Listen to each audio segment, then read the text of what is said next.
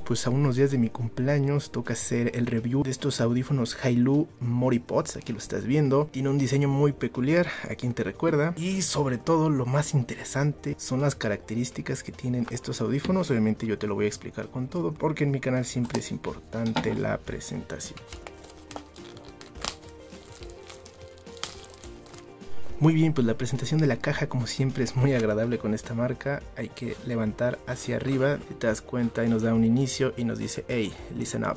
O sea que levantemos hacia arriba. En una presentación pues eh, muy agradable, vamos a ver pues la bienvenida es muy bonita. Estos serían los audífonos y la base, vamos a dejarlo por un lado. Y esta esponja que además de darnos una bonita presentación, pues los protege. Aquí debemos de levantar y encontramos lo que sería el manual, supongo que son manuales. Y sí, aquí vemos que es un cable tipo C.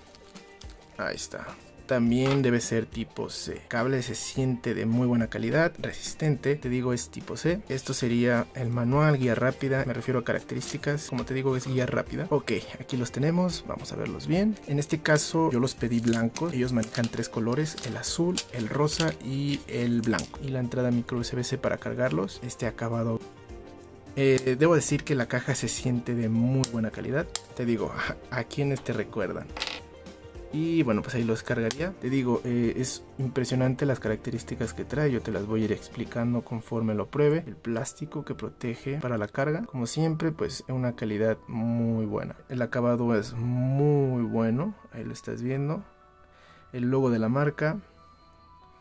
Vamos a probarlos por una semana, por más de una semana. Y bueno, pues regresamos con el análisis y sobre todo las opiniones. Desde ya te digo que es algo muy interesante. Bueno, pues después de varios días y de hacer varias pruebas, tengo mi opinión. Vamos a ver cada una de sus características, pues incorporan no solo un chip, sino que además cuentan con cancelación de ruido activa. Vamos a ver. Bueno, pues vamos a comenzar con lo más básico y sería cómo funcionan. Bueno, pues para comenzar a usarlos, solo basta con sacarlos de su base y estos automáticamente encenderán y se vincularán entre ellos. Ahí estás viendo, están parpadeando porque ya se vincularon. Después solo hay que buscar con tu terminal los audífonos y esto es algo que me gusta mucho de Hailu, a diferencia de otros audífonos Bluetooth que hay que preparar para sincronizar. Aquí solo basta con sacar cada uno, entre ellos se vincula y listo, solamente hay que buscarlos. Aquí nos aparece, así que solo bastaría enlazar y listo, ya están enlazados, así que te digo es muy sencillo. La base de los audífonos es imantada, cuentan con tecnología de comunicación bidireccional. Esto significa que cualquiera de los dos audífonos puede ser maestro, no necesita del otro para funcionar. En este caso, por ejemplo, este audífono está apagado, se está cargando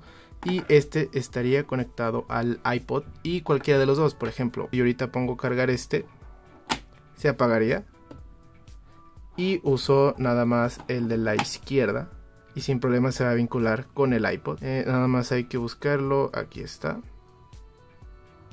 Y listo, ya si te das cuenta está conectado. Entonces no necesita el uno del otro para funcionar. Contamos con un panel táctil en los dos audífonos que trabajan con los siguientes comandos. Un toque en cualquiera de los dos audífonos sería dar pausa a lo que estemos reproduciendo. Dos toques en el audífono derecho sería pasar a la siguiente canción o video. Dos toques en el audífono izquierdo sería un paso hacia atrás. Para responder una llamada hay que hacer dos toques seguidos en cualquiera de los dos audífonos. Para terminar la llamada hay que mantener el dedo en el panel táctil hasta que suene. Y para rechazar una llamada también hay que mantener el dedo en el audífono hasta que suene. Para llamar al asistente de Google o Siri hay que hacer tres toques seguidos en cualquiera de los dos audífonos.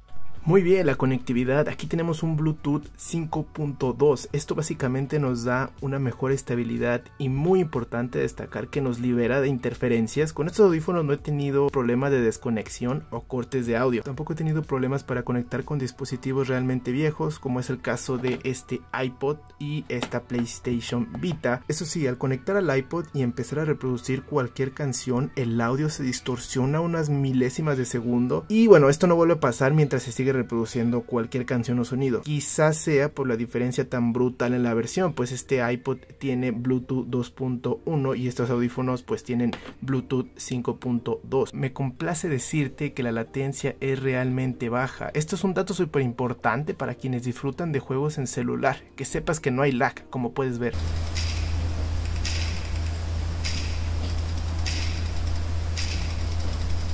El audio, el apartado más importante, claro. Vamos por partes. Estos audífonos incorporan el chip Qualcomm 3040 con el nuevo codec aptX adaptativo. ¿Qué significa esto? Bueno, se va a adaptar a la ocasión. Supongamos que estás escuchando música, bueno, pues activaría el aptX HD y esto haría que la música tenga menos pérdida de información. Esto no significa que la canción tendrá más o menos volumen, lo que estaría ocurriendo es que al perder menos calidad puedas notar más instrumentos en la canción que con audífonos convencionales y así mantener la calidad de sonido a nivel de CD. Y al jugar videojuegos se activaría el aptX Low. Esto hace que haya una latencia ultra baja y así evitar lag. Cabe mencionar que el aptX funciona solo con móviles con procesadores Qualcomm. Para que sea nuevo codec, el aptX adaptativo tiene que ser de la serie 855 en adelante. Me parece que si es una serie menor habría aptX pero no el adaptativo. ¿Qué pasa si tengo un iPhone o un Android que no tiene un Qualcomm? Por ejemplo este iPod. Pues muy poco la verdad, ya que aún así los audífonos al traer su chip por dentro estarían optimizando el sonido. Sí que pierdes estas funciones extra pero esto no significa que sonarán mal. Para nada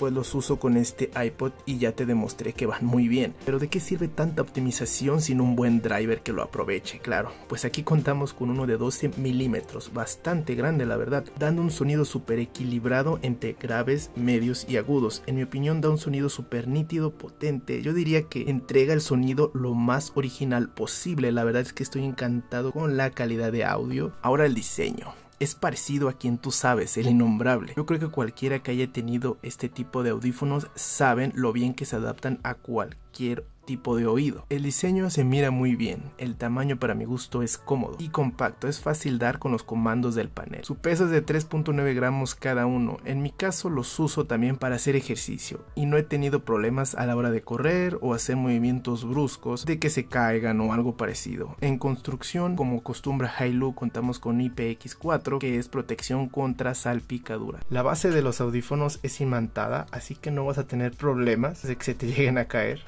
el micrófono. Aquí contamos con cancelación de ruido CVC 8.0, tecnología de Qualcomm para optimizar tu voz frente al ruido exterior. Ahora, contamos con cancelación de ruido activa ENC. Esta funciona con los micrófonos nada más y es buenísimo. Te explicaré cómo funciona de la manera más básica y fácil. Estos audífonos cuentan con dos micrófonos. Ahí estamos viendo uno y en la parte de abajo hay otro micrófono. Uno es para captar el ruido exterior y el otro para escuchar tu voz. La cancelación de ruido activa funciona de esta manera. Supongamos tienes un ventilador a un lado y ese ventilador estaría emitiendo una frecuencia de ruido constructiva, esa onda que estás viendo. Entonces el micrófono al detectar ese ruido crearía la misma onda pero en vez de constructiva sería destructiva, anulando casi por completo el ruido del ventilador y que así se pueda captar tu voz a través de una llamada sin problemas. Aquí una prueba. Pues como te digo, estoy haciendo una prueba, eh, estoy probando la cancelación de ruido, hay bastante ruido, te lo repito, en este centro comercial, traigo el cubrebocas puesto, esto limita muchísimo más mi voz. Yo te recomendaría hablar con estos audífonos, hablar como si estuvieras hablando con una persona a tu lado. Entonces, eh, sí tienes que subir un poco el tono de tu voz. Yo ahorita voy a probar a ver qué tal suena. Te repito, los traigo puestos. Traigo puestos los audífonos. Y bueno, pues quiero que me digas tú qué tal se escucha eh, qué tal funciona la cancelación de ruido, porque esta ya no es una cancelación de ruido eh, pasiva, este ya es una cancelación de ruido activa. Entonces eh, me interesa saber tu opinión y bueno, también quiero ver los resultados terminada esta grabación. Y este es el ruido que en realidad había en ese lugar. Ruido que tiene que procesar y silenciar lo que sería la cancelación de ruido activa. Podemos notar cómo eliminó prácticamente todo el ruido de fondo. Como dato curioso, esta es la tecnología que usan los pilotos para comunicarse sin que el ruido de los motores lo impida la batería. Otra característica del chip Qualcomm 3040 es el apartado del consumo, ya que gasta menos energía y es mucho más eficiente. Y lo notas, por ejemplo, cada audífono tiene menos batería que los Hailu GT3, pero duran lo mismo, incluso más. El fabricante nos indica que escuchando música durarían 4 horas. Yo obtuve 4 horas y 40 minutos, como puedes ver en esta foto. Empecé a escuchar música a las 11 de la noche y terminé de usarlos a las 3.40 am. Las 4 4 horas fue con música con el volumen mucho más arriba de la mitad y los últimos 40 minutos fueron solo mirando videos de YouTube. Yo creo que se pueden hacer 5 horas, lo que pasa es que a partir del 6%, como estás viendo en esta foto, el audífono derecho se apagó y solamente quedaba con energía el audífono izquierdo. Entonces llegamos a la conclusión que podríamos hacer 5 horas y 15 minutos aproximadamente, pero solamente con el audífono izquierdo y 4 horas con 40 minutos con los dos audífonos. Esto claro, con bastante volumen. Si tú no abusas mucho del volumen, es probable que llegues a más. Su base cuenta con 310 mAh, por lo cual podría ser 4 cargas y media completas muy bien, la conclusión. Los audífonos no solo hacen frente a cualquier ocasión, sino sobresalen, gracias a todas las características que incluyen, cuidando cada aspecto, por ejemplo, en el sonido dando una experiencia de audio potente y original y más nítida posible. Además, gracias a sus 12 milímetros es un sonido excelente. También dándote una buena experiencia a la hora de comunicarte gracias a su cancelación de ruido. A esto súmale la latencia tan baja que hace que estén listos además para cualquier juego en línea. Todo esto por un precio de 794 pesos mexicanos en su página oficial. Hace que de nuevo mi calificación sea 10 de 10. Búscase cualquier lado audífonos con chip Qualcomm 3040 y con un driver de 12 milímetros mínimo. Estos pasan los mil pesos mexicanos. El sonido es excelente. Por mi parte también estos audífonos van recomendados.